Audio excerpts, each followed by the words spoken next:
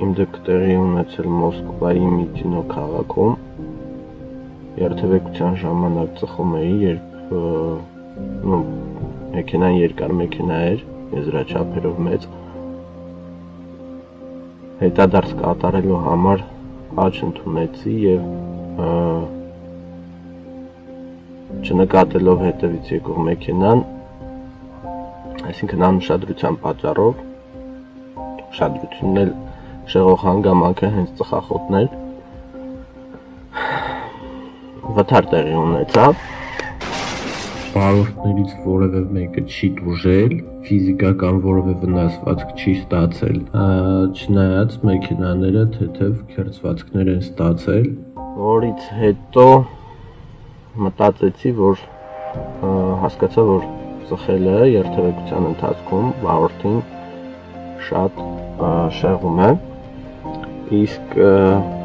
ովքեր որ կպնդեն, որ ժամանակի ընթացքում դա դառնում է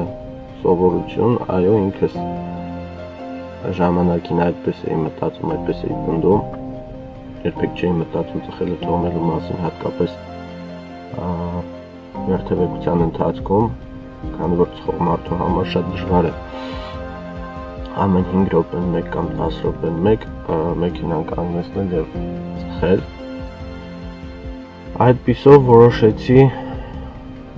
փուլ առ փուլ ժամանակ առ ժամանակ ավելի ու ավելի քչացնել ծխելը եւ եկավ մի պահ, որ հենց այդ վթարի հետևանքով, այդ վթարի պատճառով ես ծխելը թողեցի, որպես հորդոր, որպես խնդրանք այն վարորդներին, ովքեր երթևեկության ընթացքում ծխում են, թող փորձեն իրենք իրենց մեջ ուժ գտնել, որ փուլ առ փուլ ինչպես եւ ես փուլ առ փուլ թողեցի ծխելը, այնպես էլ մնացած բոլորը թող թողնեն ծխելը